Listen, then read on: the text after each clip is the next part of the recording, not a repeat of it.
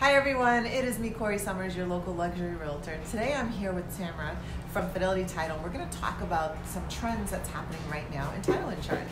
Stay tuned.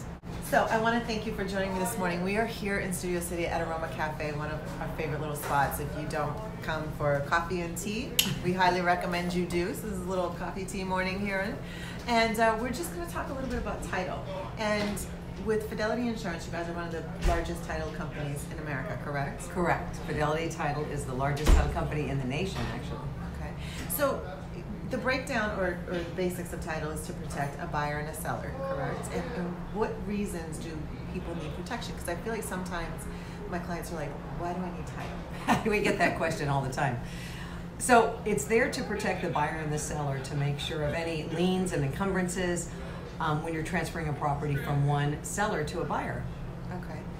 What are some of the things that you're seeing these days when it comes to title? I mean, I feel like there's always kind of like a trend. Maybe it's because people are downsizing and so you're seeing certain things, or maybe there's like a, a huge movement of people that just bought and are selling quickly, or maybe suddenly it's people living out of state. What kind of trends are you seeing when it comes to title insurance and what you guys are finding in title searches? That's a good question, actually.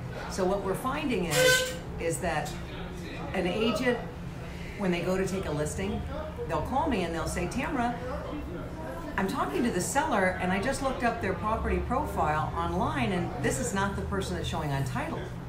That's never good. No, it's, not. It's yeah, not good. It's never good. And what that means is that means it's a wild deed. That means somebody went down, and we're seeing this as a trend now. Somebody went down and they recorded a deed on someone else's property falsely.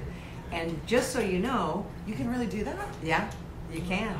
Uh, it's you know it's illegal, but you can do it. So it's very important to make sure that they check with you at least once a year, kind of like checking your credit. And you should have her run your title. So at least just just your your vesting, just to make sure that you're still on title. If there's any problems, um, you'd be shocked to know that you actually have to contact the police department, and then more than likely get an attorney. So it's sad, but we have to actually pay to get someone who put something wrong on a house that we bought. But it's part of part of what's going on right now. Wow, so this is kind of like the new fraud. Yes, it is very Now, well if put. someone puts themselves on title, could they in turn somehow get that house? Like, is, is there a real, like, there's a real potential problem here? right? Yes, there is, and that is the best question I've ever been asked. Um, yes, they can. So what happens is when they put it on there at first, there's no. It's not that there's no problem. I mean, there's a problem obviously because there's the owner. You can't sell it until that's taken off. But if they put it on there one time, but then if they put it on there and they sell it to someone else, then you have a big problem. So l- let me kind of think about this for a second because my mind is a little bit blown here. So someone can just randomly put themselves on your title. You own a five million dollar home in the hills, right? A home that you've saved up for. It's a beautiful home. It's like your dream home, right? Yeah. Someone can literally go register and add themselves to your title, and then with that they can turn around and and do other nefarious acts such as sell your home, or can they get possession of your home? can't get possession, and I haven't seen them get possession yet. I can't say they can't. I haven't seen that happen yet. But what will happen is, yes, we're seeing this as a, as a, as a trend right now, and I'm seeing it more in the last two years than I've ever seen it in the 30 years I've been entitled. And what's happening is they put the deed on there, so anyone can go down and record, which is shocking to me. They can record a deed onto your property. I just had one two years ago on a $68 million property. And when they went to sell it, the agent called me and said, Tamra, something's wrong. I've got, you know, the other agent on the phone and they say they're looking at the title and it's not showing who, who the owner is. And when I looked it up immediately, it looked like chicken scratch. It looked like a five grader wrote it. But sure enough, they put it on there and that took over six months to get off. And there was attorneys involved and many attorneys involved. And it was not easy. The person kept filing back on us. It was a lot of work, but of course it ended up coming off. I mean, they go to court and a judge sees it, but it's not like just doesn't happen as easily as people think. So, I try to do uh, an update for my clients every year on their property value. And I think you were mentioning earlier, so it's a good idea to also pull what, what, what, what exact title report is a good idea to maybe send with that, just for, so our clients are being updated and, and really have current information?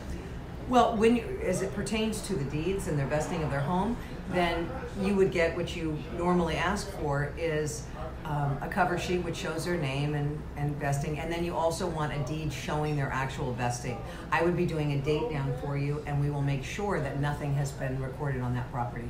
Okay. So, you know, typically when you're thinking about selling your home, as your listing agent, we go and we do a prelim on your title and, and you know, we talk to Tamara or someone else at title and, and we get this report and we send it to you and you take a quick look at it. And for the most part, I feel like everyone's just kind of like, oh, okay, as long as you see your name, it's no big deal.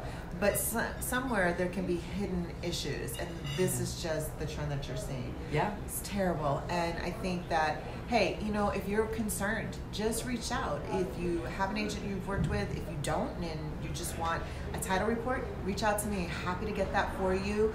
We're here to serve, and this is just important to stay protected. So everybody, I want to thank you for watching uh, this video. If you liked it, give it a thumbs up. If you have any questions concerning title, or again, as I just said, if you want to get uh, an update on your title and you're not currently working with an agent or you can't find your past agent or you're just like, I'm just curious, reach out. My information is below. We'll talk. I'll go ahead and get that for you. It's not a problem. We're here to serve, we're here to help, and that's what this is all about. So thank you guys. If you haven't already subscribed to my YouTube channel, please do so. Click that bell for updates, and we'll see you next time. Have a great day.